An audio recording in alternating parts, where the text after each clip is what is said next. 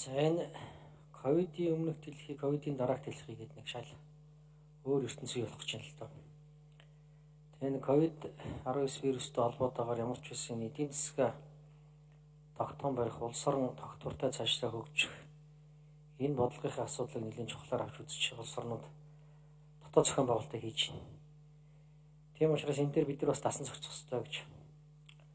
Хамгийн түрүүний зүйл бол эх орноо эрүүл хүнсээр хангах энэ асуудлыг нэлээд онцгой анхаарах хэрэгтэй.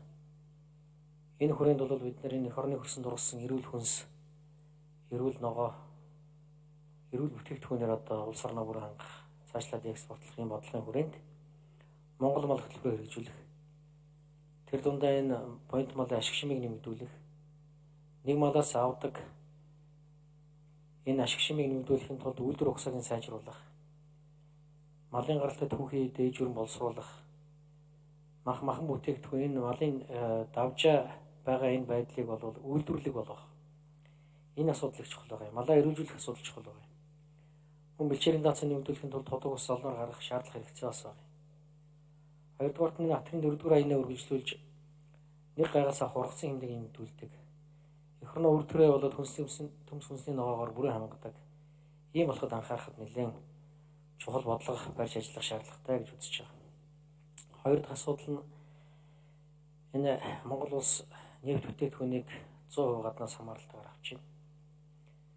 Энэ нефть боловсруулах алтан ширээнийхээ үйлдвэрийг бол яралтай ашиглалтанд оруулах тал дээр нэлээд санаачлагтай ажиллаж цаашлаа нефть бүтээгдэхүүнийг бид өөрсдөө боловсруулж ундаг машиныхаа бензин тосыг өөрсдөө хийх асуудал дээр нэлээд төлхөө анхаарч энэ гадшаа чиглэсэн валютын урсгалаа дотшоо чиглэсэн болох энэ асуудал дээр анхаарах хэрэгтэй байна. Тэгэхэд бол бид энэ дорнодын тамсгийн бүтээгдэхүүн авах гэрээгээ бол эргэж харах шаардлагатай. Дээр нь шинээр нефтийн ордуудыг ирж хайх, олборлох, нөөцийн тогтооход анхаарч иж бид нар цаашдаа энэ 100% хараат байдаг энэ валютын урьдчилан гадшин чиглүүлдэг гол энэ бүтээгдэхүүнийг тогтоон барих, дотооддоо үйлдвэрлэх асуудал чухал байна. Гурав дахь асуудал бид нар энэ импортоор авдаг энэ цахилгааны асуудлаа зэгцлэх. Ийм учраас Эрдэнэ өрнгийн цахилгаан станцыг яралтай оруулах 8 аймагт баригдах дулааны цахилгаан станцад үргэлжлэх. Мөн 3 4 дугаар цахилгаан станцын тохируулгын ажлуудыг, хөргөтлийн ажлуудыг хийх. Багнуурын болоод 5 7 цахилгаан станцуудаа оруулах. Мөн дүүжлэн одоо гоолтой хөрөнгө гол дээр барих дулааны цахилгаан станцын ажлыг эхлүүлэх гэдэг ингээд эх орноо эрчим хүчээр хангасны дараа бол хөгжлийн тухай асуудал, үйлдвэрлэлийн тухай асуудал ярих. Ийм учиртай болно. Дөрөв дэх асуудал нь бид нар одоо энэ аймаг орон нутгаа бол 21 аймага Улаанбаатар хотод хатуу уучлалтай тосон замаар албачлаа. Одоо орог дуусч байна.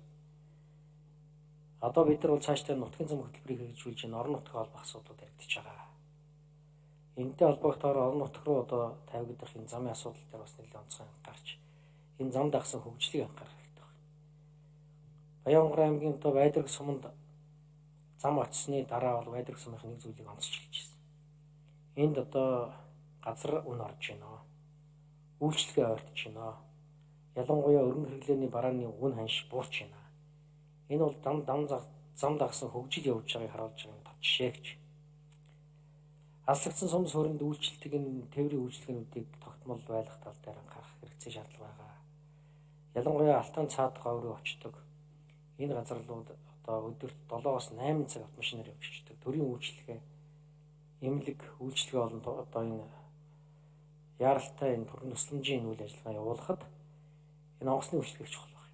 Тэгэхээр энэ жижиг оврын онгоцыг бүс нутагт нисүүлэх нисгэх тухай энэ засгийн газрын өмнө хэрэгжүүлж ирсэн ерөнхий агаарын тээврийг хөгжүүлэх бодлогыг цааш нь үргэлжлүүлэх тал дээр анхаарах. Ийм ийм зүйлүүдийг бас одоо цааш нь бол засгийн газрын мөрөн хөтөлбөртэй нэлээд сайн суулгаж энэ эргээд эдийн засгт бодтой өрнөлөө гэдэг энэ асуудал дээр анхаарч ажиллаарай гэж хүсэх байна. За баярлалаа.